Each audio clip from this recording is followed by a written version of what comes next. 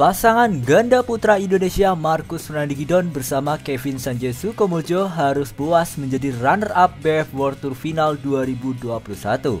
Markus Kevin gagal menjadi juara setelah kalah rubber game dari Takara Hoki bersama Yugo Kabayashi dari Jepang pada final BF World Tour 2021 Minggu 5 Desember 2021. Berlaga di Manggapura Hall The Westin Resort Nusa Dua Bali, Marcus Kevin kalah 16-21, 21-13 dan 17-21 dari Hoki Kabiasi dalam tempo 61 menit dengan hasil ini Indonesia dipastikan tanpa gelar juara di BWF World Tour Final 2021. Namun guys, sebelum lanjut ke pembahasan, seperti biasa jangan lupa untuk terlebih dahulu klik like, subscribe, serta nyalakan lonceng biar kalian enggak ketinggalan berita terbaru lainnya mengenai badminton Indonesia. Marcus Kevin akhirnya mengakhiri interval game pertama dengan keunggulan 11-6. Satu smash tajam dari Kevin Sanjaya menghentikan perlawanan Hoki Kabayashi. Selepas jeda, Marcus Kevin kehilangan dua angka beruntun. Mereka tak bisa mengembalikan smash bertubi-tubi dari ganda Jepang. Skor berubah menjadi 11-8.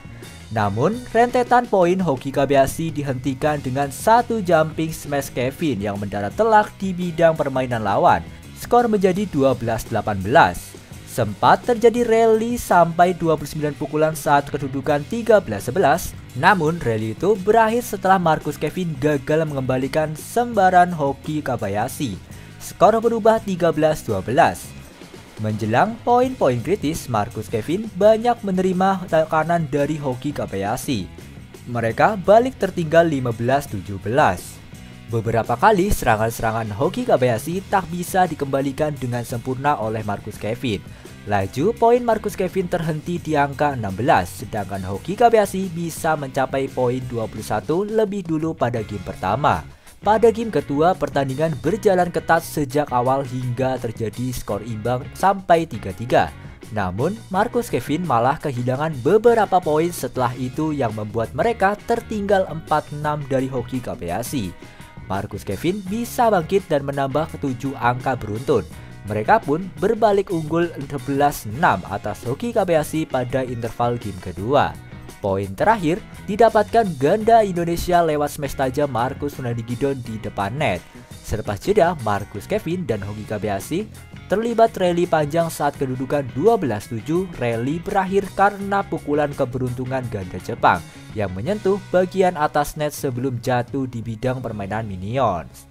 Setelah itu, Marcus Kevin bisa menambah beberapa angka saat unggul 16-8 Marcus Kevin sempat melepas tiga angka beruntun ke lawan, sehingga jarak poin mereka dengan Hoki Kabayashi menyempit jadi 16-11.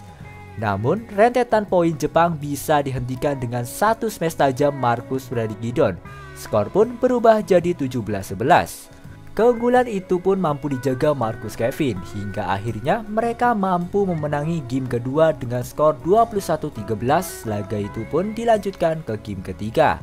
Pada game penentuan, Marcus Kevin memulai laga dengan kurang baik. Mereka langsung tertinggal 0-6 dari ganda putra Jepang. Satu sambaran di depan net dari Marcus Gidon akhirnya menghentikan rentetan poin Hoki Kabayashi. Skor berubah menjadi 1-6. Marcus Kevin berupaya mengejar ketertinggalan dari Hoki Kabayashi. Mereka mendekat saat kedudukan 8-10. Pada interval game ketiga, Marcus Kevin tertinggal 8-11 dari Hoki Kabayashi tetapi sinyal kebangkitan semakin kuat. Selepas jeda, Marcus Kevin terus menambah angka hingga akhirnya mereka bisa menyamakan kedudukan 14-14 dan bahkan berbalik unggul 15-14. Poin terakhir, ganda putra Indonesia didapat lewat smash tajam Kevin Sukomujo yang tak bisa dikembalikan dengan sempurna oleh Hoki Kabayashi. Namun menjelang akhir game ketiga, Marcus Kevin melepas beberapa poin ke lawan sehingga mereka berbalik tertinggal 16-18.